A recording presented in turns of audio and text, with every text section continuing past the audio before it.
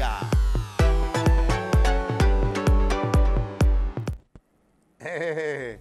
me pintaste. Ah, está buena esa.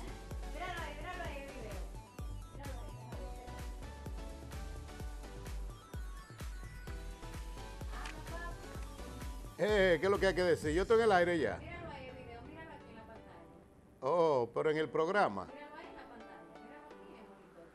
Sí, lo estoy viendo, pero, pero está en el aire. Y yo estoy en el aire ya también. Oh, ¿y por qué?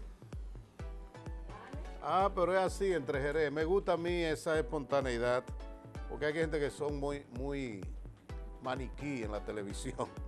Y ya eso se acabó. Eso era cuando Radio Televisión Dominicana, en los tiempos de Petán, que el locutor de, de noticias ni pestañaba y decía, buenas noches queridos amigos, aquí estamos en Noti Tiempo. Información internacional. Pero ya no, ahora estamos así, como medio salido de onda, como dicen algunos, con esa informalidad que a algunos gusta y a otros no.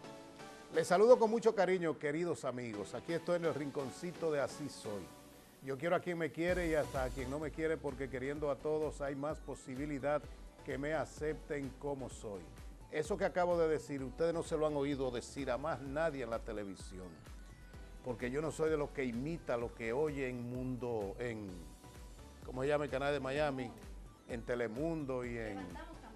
Levantamos campamento, como dice uno ahí. Porque aquí viven imitando todo lo que se dice en televisión, internacional sobre todo. Entonces uno tiene que tratar de buscar originalidad, ser espontáneo.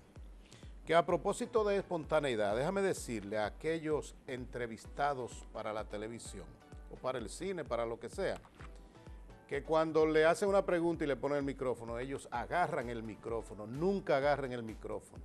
Quien debe siempre permanecer con el micrófono en la mano es quien está haciendo la entrevista, el locutor, el periodista, quien esté haciendo la entrevista. ¿Por qué? Porque hay que permitirle a quien está haciendo la entrevista que tenga el protagonismo, la dirección de la misma porque se puede dar el caso que si usted agarra, el tele, eh, usted que es entrevistado y agarra el micrófono, ahí como que no se sabe quién que está entrevistando a quién. Se supone que el que está entrevistando es el que no está entrevistando. ¿Me entendieron? Y si no me entendieron, déjenlo ahí.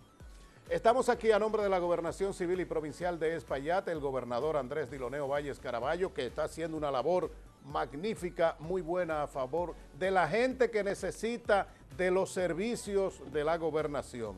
Diloneo Valles es un gerente, lo ha demostrado a través de su trabajo, no solo en la gobernación, sino también en otras instituciones. Allí en la gobernación hay un cuerpo de empleados que trabaja y trabaja de verdad. Diloneo Valles, puerta abierta al pueblo. Se lamenta mucho, lo he sentido en los sectores donde he ido. La muerte del niño del barrio Viejo Puerto Rico que fue atropellado y perdió la vida por, una, por un vehículo, una jipeta. Mientras la persona que estaba maneja, manejando el vehículo daba reversa, el niño estaba detrás. La gente le decía, hey, ten cuidado, ten cuidado, pero el que iba manejando la jipeta eh, tenía el volumen de la música de su jipeta muy alto y no pudo escuchar a la gente cuando le advertía que había personas detrás. Y lamentablemente ya este niño de apenas seis años no existe en vida.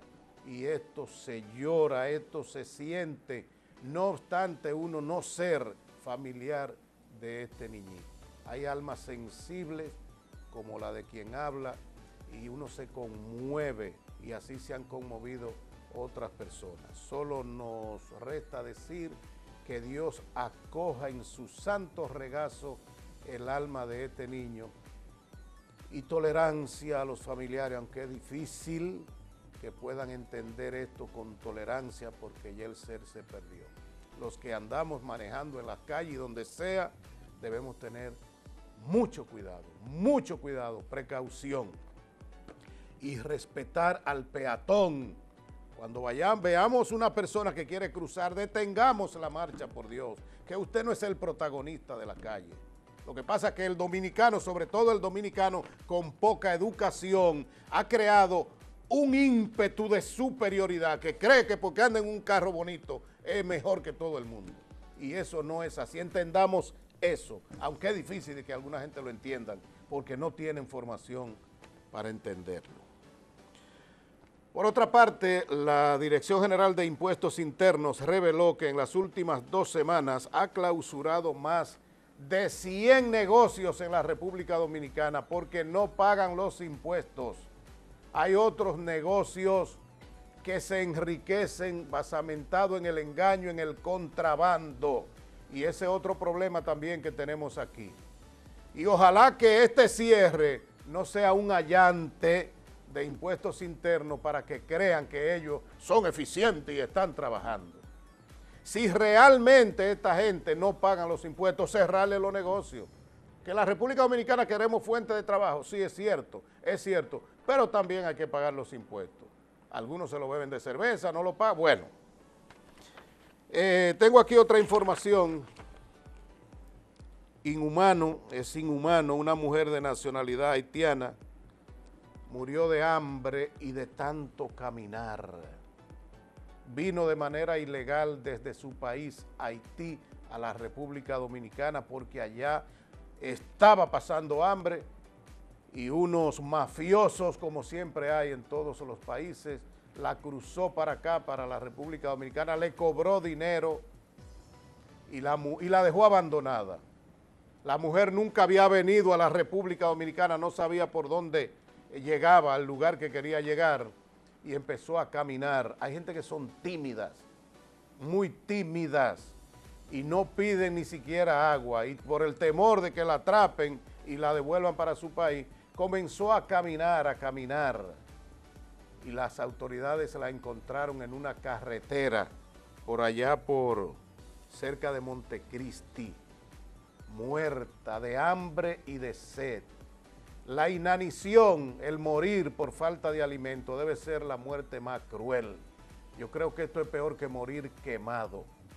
Y esto pasó recién aquí en la República Dominicana. Esta mujer murió y siguen llegando más haitianos aquí en la República Dominicana en busca de mejor vida.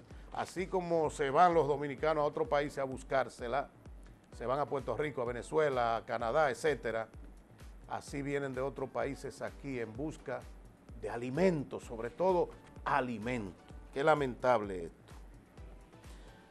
Y el hueco de la carretera Guausí, aquí en Moca, ya yo estoy, no cansado, no, yo no me voy a cansar, cada cierto tiempo hasta que no resuelvan este problema. No lo arregló Remberto cuando fue alcalde, muy mal alcalde, y yo quiero ahora presionar para que este alcalde que tenemos, el doctor eh, López, resuelva ese problema, que yo grabé un video hace un dos o tres minutos, ahí en Guausí. Va a caer un vehículo y se van a matar mucha gente.